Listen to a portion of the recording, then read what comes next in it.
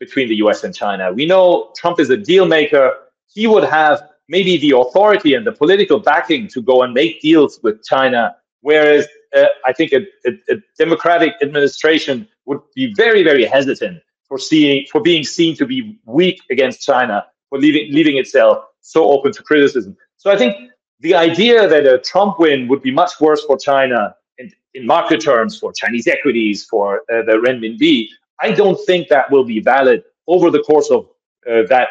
uh, term